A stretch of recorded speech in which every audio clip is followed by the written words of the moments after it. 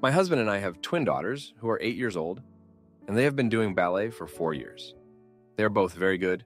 Both girls have always done well. They are in a very good school, and I am proud of them. I think ballet is good for them, and my husband agrees. However, recently their teacher came to me and said that she thinks Maria should begin pointe early and start taking classes a year up. Typically, at the school they are at, the girls begin at either 10 or 11, with some exceptions. And Maria was an exception. I told her I would need to think first. I did not tell the twins and only my husband. He thought it would be a very good opportunity, but I was hesitant. This was because I had read about the effects pointe can have on their feet and bones if it is done too early. I told my husband I was going to decline the teacher's offer, and that I don't think it would be safe for Maria to begin pointe at such a young age. While I did not do ballet growing up, I did rhythmic gymnastics, and I know the importance of taking care of your body because I have a lot of pain now. Maria is also not physically mature in any way. She's quite petite, and I don't think it would be good for her at all. However, my husband was not happy with my decision. He thinks I am depriving Maria of this opportunity because Dina did not get the same opportunity, and that it's important for her to have all opportunities that come her way. He always favored Maria in some ways and believes that she will be a star and a very good future. It is not fair to Dina at all, who is very intelligent and a beautiful dancer. But it is what it is. Because they are identical, they are quite competitive, but Dina's is more reserved. She's more anxious and gets overwhelmed easily, while Maria is very social and speaks well. And my husband believes that is important. It bothers me that he prefers her, and Maria has developed a bit of a complex because of it. But she's grounded enough. Personally, I believe the reason why Maria Seaton is getting offered this opportunity is that her teachers prefer her to Dina. Dina's only issue is that she struggles remembering sometimes, which frustrates her teachers. But that has nothing to do with her strength or technique. And to me, they are very equal with all of those. I have communicated the reasons for my decision to my husband several times, but he is still very upset that I've made this decision. While I do generally go by the rule that a decision in a marriage should be made by both of us, I really didn't want my daughter having permanent physical issues because she has a small chance of becoming professional in the future. It isn't worth it. But my husband just hasn't taken this well. He's told Marie about my decision, and now both girls are upset. Marie is angry because she thinks I'm being unfair and taking away her opportunity. And Dina is upset because she feels inferior to Maria. Maria has become unbelievably stroppy now. She refuses to do simple things just to be difficult. And my husband fusses over her all the same. I am upset with him. I've told him what he has done is childish and immature, but he refuses to accept any of this. I sleep in a separate room now, which upsets the girls, especially Dina. But I can't stand being in the same room as him right now, since he deliberately upset our daughters, and it's resulted in them being difficult for me. He's not the one looking after them, and it's very frustrating. I feel very unhappy right now. I've created a complete mess. We've been married for nine years now, and we've never had such a disagreement. It's embarrassing since I should know how to resolve my own disagreements, but I just have no idea what to do. Now, for a few comments before the update. Comment 1 I think you have a bigger problem on your hands than you are currently addressing. Your husband's favoritism of Maria is only going to make her worse as she ages, and he is already weaponizing her against you when he disagrees with you. You are right that pointe can hurt their feet, but obviously Maria isn't old enough to understand the ramifications this can have on her future, and is just upset that she is being denied an opportunity she would enjoy. Meanwhile, this has reinforced it for Dina that she is worse and less worthy than Maria. I think at the least, this should be grounds for a long run of couples counseling sessions. But I would personally consider your husband's favoritism alone to be a deal breaker. And obviously, we are long past that point now. You are trying very hard to protect one of your daughters from damage to her feet, but not doing enough to protect both your daughters from long term damage to their mental wellness. Comment 2. As a mother of a child who dances, yes, kids can absolutely develop problems if they start pointe too early. They have to be physically developed enough, plus have strong enough technique, that they are less likely to injure themselves. I don't think there's anything wrong with waiting another year to make sure your child is strong enough to handle it. Having said that, I am concerned about your comment about the teachers favoring one daughter over another. They are trained to see things you don't see, and it will be natural for one child to develop at a different rate than the other. Your husband telling your children about the situation is completely manipulative and not okay. You two need to have a serious discussion about it and possibly counseling to learn how to handle conflict better. Now, for the update. Hey everyone, a lot has happened since my last post. After my husband told Maria about my decision, things got even more complicated. Maria started acting out more, and it was clear she was trying to get back at me for what she saw as an unfair decision. She started skipping her regular ballet classes, saying she didn't see the point if she couldn't do pointe. This was really hard for me to handle because I knew how much she loved ballet, and it felt like she was punishing herself to make a point. Dina, on the other hand, became even more withdrawn. She started having trouble sleeping and would often come to my room in the middle of the night, saying she felt scared or had bad dreams. I tried to comfort her, but it was clear that the tension in the house was affecting her deeply. She even started making more mistakes in her ballet classes, which only made her feel worse about herself. My husband and I continued to argue about the situation. He accused me of being overprotective and not trusting Maria's abilities. I tried to explain that my decision was based on concern for her health, but he wouldn't listen. He kept saying that I was holding Maria back because I didn't want her to outshine Dina. This hurt me deeply because it wasn't true, but it was clear that he believed it. One evening, things came to a head. Maria had another meltdown, refusing to eat dinner and yelling that she hated ballet and hated me for ruining her chances. Dina started crying, and my husband just sat there, not saying anything. I felt completely alone and overwhelmed. I decided to take a walk to clear my head. But when I came back, things had gotten even worse. My husband had called Maria's ballet teacher and arranged for her to start pointe classes behind my back. He told Maria, and she was ecstatic. Dina, however, was devastated. She felt completely left out and even more inferior to her sister.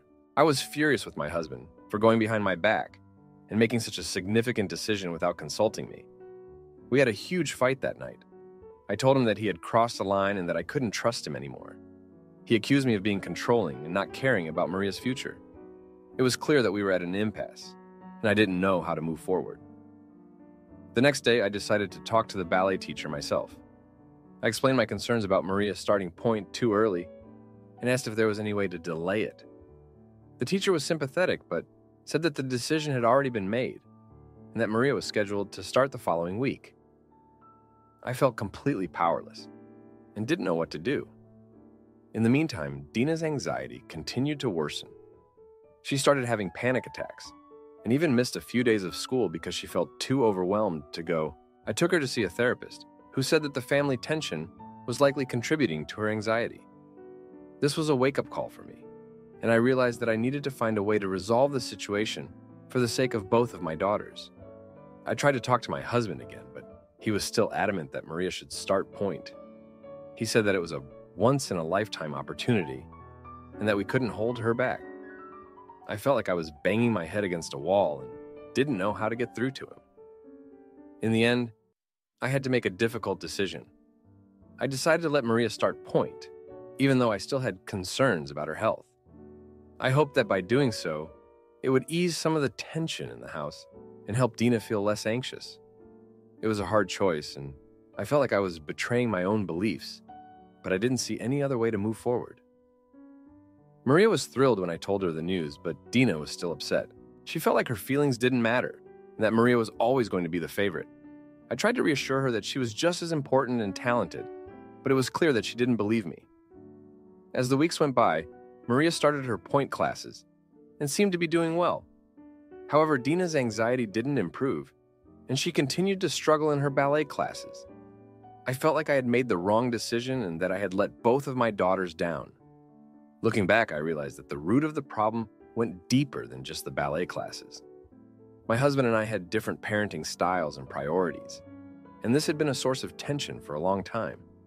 He had always been more focused on achievements and success, while I was more concerned with our daughter's well being and happiness. This difference had come to a head with the ballet situation, but it had been simmering beneath the surface for years. I remembered a conversation we had early in our marriage, before the girls were born. We had talked about our hopes and dreams for our future children, and I had said that I wanted them to be happy and healthy above all else. My husband had agreed at the time, but it was clear that his priorities had shifted over the years. He had become more focused on pushing the girls to excel, especially Maria, and this had created a rift between us. I also thought about my own childhood and how my parents had always supported me in my gymnastics, but never pushed me to the point of sacrificing my health. I wanted to give my daughters the same kind of support, but it was clear that my husband had a different vision for their future. In the end, I realized that we needed to find a way to bridge this gap and come to a mutual understanding. It wasn't just about the ballet classes, it was about our entire approach to parenting and what we wanted for our daughter's future. I knew it wouldn't be easy, but I was determined to find a way to make it work for the sake of our family. Thanks for reading. Am I the idiot for refusing to give up my favorite snack? Because my boyfriend thinks it looks like testicles. So I'm in a very weird situation and I don't know how to proceed. I'm hoping to get some insight from people who don't know us personally, because this is really embarrassing for me. So, to preface, I'm a cheese lover. I absolutely adore cheese, and it's my favorite snack. My number one cheese has got to be mozzarella, specifically ball shaped mozzarella. The texture and flavor are so good, especially with a little salt sprinkled. I buy those Belgioioso packs of mozzarella balls, and they have been my snack of choice since I was a freshman in college. They were easy and convenient to keep in my mini fridge for a quick, cheap, and easy bite. My boyfriend and I have been dating for three years now, and we recently moved in together. He's known about my love for cheese since our first date. He took me to a restaurant, and we ordered like three charcuterie boards. Lol, I don't think he knew what he was getting into with my snacking, and he probably didn't expect to see me eat mozzarella balls on the daily. I thought he was fine with it, but now he's making an issue out of it, and I don't know if I should stop. His specific issue is the shape of the cheese. He tells me that seeing me eat ball shaped cheese makes him uncomfortable. He says that it is lewd and that, and I quote, seeing me pop a wet cheese ball in my mouth makes him think of me having another man's balls in my mouth. Yeah, I was really confused, and I told him that I don't think this is that big of a deal and that it's literally cheese. But he told me the imagery still grosses him out. I thought we could work through this, but after a while, he said it might be a deal breaker if I don't stop. Afterwards, he left for work. During the argument, he said he doesn't care if I eat mozzarella cheese, but he just wants me to eat it string or shredded instead. I know this is so high maintenance of me, but mozzarella balls are just my favorite snack. The texture, the taste, it's just so good. I like shredded cheese and string cheese, but they just aren't the same. I'm thinking I should maybe buy the smaller mozzarella balls that Belgioioso sells and hope they won't bother him. But if I feed into this, could it reinforce this mindset he has? I don't know what to do. I want to make him comfortable, but this feels really controlling and unnecessary. Not to mention, I don't really want to give up on my favorite snack. He's a great guy, and I know this post isn't doing justice, but I just want to know if this is a red flag from him or if putting my foot down on this is unreasonable. Thank you in advance to anyone who reads this and offers me some advice. Now for a few comments before the update. Comment 1 Guy sounds like a weirdo, to be honest. Equating mozzarella balls with another man's testicles is the stretch of the century. He needs therapy. Comment 2 You're a grown woman who went through college, and you're settling for and defending a man who won't let you eat cheese balls. What the FK? Now, for the update, thanks for all the comments from the last post. So, things have taken a bit of a turn this past week, and I'm still trying to wrap my head around everything that's happened. After our argument about the mozzarella balls, I decided to try and compromise. I went out and bought the smaller mozzarella balls, hoping that they wouldn't bother him as much. When he came home from work and saw them in the fridge, he seemed relieved and thanked me for trying to meet him halfway. I thought that would be the end of it, but boy, was I wrong. A couple of days later, we were having dinner, and out of nowhere, he brought up the cheese thing again. He said he appreciated my effort, but still felt uncomfortable. He then suggested that maybe we should see a therapist to talk about it. I was taken aback. I mean, therapy over cheese? But I agreed because I wanted to understand where he was coming from and maybe get to the root of why this was such a big deal for him. We had our first therapy session three days ago. The therapist asked us to talk about our feelings and why this issue was so important to each of us. My boyfriend started talking about how he felt disrespected and how the cheese balls made him feel insecure. He admitted that it wasn't just about the cheese, but about feeling like I wasn't considering his feelings. That's when things got really interesting. The therapist asked him if there were other instances where he felt disrespected or insecure in our relationship. He hesitated, but then started talking about how he sometimes feels like I prioritize my own needs and preferences over his. He mentioned a few other things, like how I always choose the movies we watch, or how I decide where we go out to eat. I was shocked because he never brought these things up before. I realized that this wasn't just about cheese, it was about a pattern of behavior that made him feel undervalued. I felt terrible and apologized for not noticing how he felt. The therapist suggested that we both need to communicate better and be more considerate of each other's feelings. We left the session feeling hopeful, but also with a lot to think about. The next day, I decided to make a conscious effort to include him in decisions more. I asked him what movie he wanted to watch, and we ended up watching one of his favorite action films. I also asked him where he wanted to go for dinner, and we went to his favorite burger place. He seemed happier, and I felt like we were making progress. But then, something unexpected happened. Yesterday, while we were cleaning the apartment, I found an old photo album of his. I started flipping through it and saw pictures of him with his ex girlfriend. I didn't think much of it until I saw a picture of them at a cheese tasting event. They were both holding mozzarella balls and laughing. I felt a pang of jealousy and confusion. Was this why he was so weird about the cheese balls? I confronted him about the photo, and he admitted that his ex used to love mozzarella balls too. He said that seeing me eat them brought back memories of her and made him feel uncomfortable. He never told me this before, and I felt hurt that he kept it from me. But it also made sense why he was so fixated on the cheese balls. We had a long talk about it, and he apologized for not being honest with me from the start. He said he didn't want to bring up his ex because he didn't want to make me feel insecure. I told him that I appreciated his honesty and that we needed to be more open with each other about our feelings. This whole situation has been very eventful of emotions, but I feel like we're finally getting to the root of the issue. It's not just about cheese, it's about communication and being considerate of each other's feelings. We've decided to continue with therapy to work on our communication and make sure we're both feeling valued in the relationship. I also learned something about myself. I realized that I can be a bit stubborn and set in my ways. I need to be more open to compromise and consider my boyfriend's feelings more. It's not just about what I want, it's about what we both want as a couple. So that's where we are now.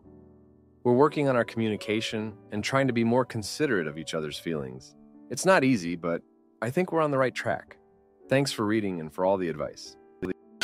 Am I the idiot for secretly getting a paternity test and confronting my wife about her affair? I've been married to my wife for three years and together for five. Our son just turned two in early June, and to put it bluntly, he looks biracial. His skin is darker than I thought it would have been. He has curly hair when we most certainly don't. And his features just don't look like the standard white people, which we are. He's a beautiful boy. He just doesn't look 100% white. I asked my wife a few days after his birthday if she thought our son looked white. She said yes and asked if I'm accusing her of something. I said no because I genuinely wasn't. I just wondered. I know genetics can be weird sometimes. We fought and I apologized. But I wasn't able to shake the feeling, so I did the shitty thing and got a test done behind my wife's back. The results came in a few days ago, and I'm not my son's dad. I feel conflicted about my son. I love him, but knowing that he isn't mine is leaving a sour taste in my mouth. Our son definitely prefers me, and he's my world, but he's just not biologically mine. I don't know what to make of my feelings. I'm a mix of emotions about my wife. I don't know how to talk to her. I'm angry, confused, and feeling very, very betrayed. I'm heartbroken too. I still love her. She's working at the moment, and I don't want to disturb her at her office. But I feel like I'm going to explode. This is all very difficult for me to process, and I can't. I can't think of when my wife cheated. We always had each other's locations for safety purposes, and I can't think of any suspicious friends that she has or had. We go on regular dates, and our bedroom isn't dead. We were also trying for a baby around that time, so I don't know when she cheated on me or why. Ever since we married, she's been over the moon, constantly showing off her ring and talking about me. She's like a teenager in love. How do I tell her that I know or get that ball rolling? I don't know what I want to do yet, as stupid as that sounds. I've been stewing on it for a few days, but I still love her so much. Maybe someone can knock some sense into me. I need help. To add, I'm becoming overwhelmed with the comments. I'm sorry. I wanted to reply to a few, but I can't. I just wanted to say thank you for commenting and that I also hope our baby was just swapped, as terrible as that sounds. Our baby didn't look biracial at birth. As he got older, he started developing features that didn't look entirely like ours. If our son's skin didn't darken over time, I don't think I ever would have questioned anything. The other features can be explained as a fun little surprise or a few generation hops, maybe. I know that genetics can be weird. Now, for a few comments before the update. Comment 1 you mentioned that you were trying. Did you do any in vitro fertilization? I just watched a documentary where a fertility doctor switched his sperm for any male patient's sperm. Also, there could have been a mix up there. Additionally, someone mentioned a switch at the hospital. Give her the results and ask her to start explaining. Most importantly, talk to a lawyer and immediately start separating any and all financial accounts. As for the whole location being on thing, Yes, someone can leave their phone in one place while they physically go to another place, and then come back to pick up the phone, so you can't rely on that. If you have will and determination, you can figure out anything. Comment 2. This is where you need to be strategic, not emotional. I'd get a second test just to be sure. And I might even have the child tested against her DNA, if you can obtain it, as it would rule out a hospital mix up. Super rare, but it does happen. Then talk with a lawyer and probably withdraw half of any shared accounts before confronting her. Edit. Yes, check with the lawyer before withdrawing money. The reality is that either person on a joint account can empty it. If you are reliant on a partner who has been scientifically proven untrustworthy, take steps to protect yourself. Now for the update. Thanks for all the comments from the last post. So, three months have passed since I found out that I'm not my son's biological father. It's been interesting to say the least, to say the least. I finally mustered up the courage to talk to my wife about it. One evening after our son had gone to bed, I sat her down and told her everything. I showed her the test results and asked her to explain. She was shocked and started crying, saying she had no idea how this could have happened. She swore she never cheated on me and suggested that maybe there was a mix up at the hospital we decided to get another test done, this time with both of us present, to rule out any mistakes. The results came back the same. My wife was devastated and kept insisting that she had been faithful. We started looking into the possibility of a hospital mix up more seriously. We contacted the hospital where our son was born and requested an investigation. They were cooperative, but said it would take some time to review records and conduct their own tests. During this period, my relationship with my wife was strained we were both on edge, and every conversation seemed to turn into an argument. I was still angry and hurt, and she was frustrated and scared. Our son, oblivious to all this, continued to be his cheerful self, which made things even more complicated. I couldn't help but feel a pang of guilt every time I looked at him, knowing that he wasn't mine biologically. One night, after another heated argument, my wife broke down and confessed something that changed everything. She admitted that she had a one night stand during a business trip around the time we were trying for a baby. She said it was a mistake, a moment of weakness, and she had regretted it ever since. She didn't think it was possible that the man she slept with could be the father because they used protection. But now she wasn't so sure. This revelation hit me like a ton of bricks. I felt a mix of anger, betrayal, and sadness. I couldn't believe she had kept this from me for so long. I needed some space to process everything so I decided to stay with a friend for a few days. During this time, I did a lot of thinking. I realized that despite everything, I still loved my wife and my son. I didn't want to throw away our marriage without trying to work things out.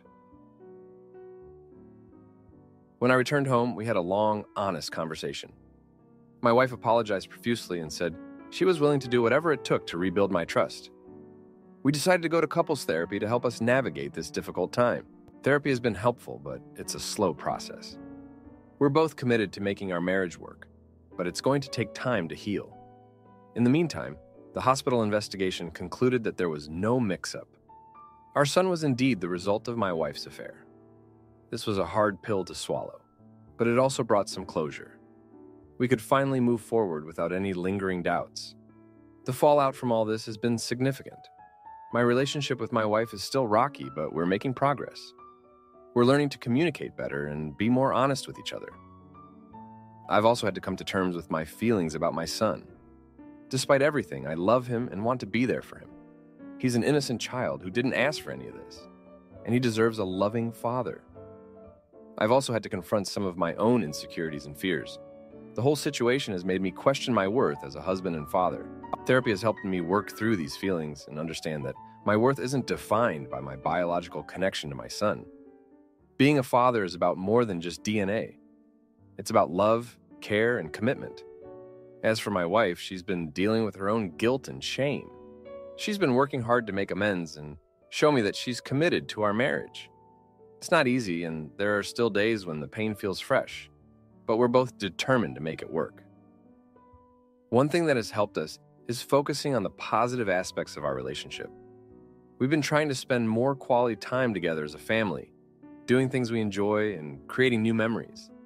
It's a reminder of why we fell in love in the first place and why we want to stay together. Looking back, I realize that this whole ordeal has brought some hidden feelings to the surface. It's forced us to confront issues we might have otherwise ignored and made us stronger as a couple. We're not out of the woods yet, but we're on the right path. Thanks for reading. If you like this video, you'll probably like these too. Also, while you're here, please consider subscribing. It's your support that keeps this channel alive and allows me to make better and longer videos. Have a great day.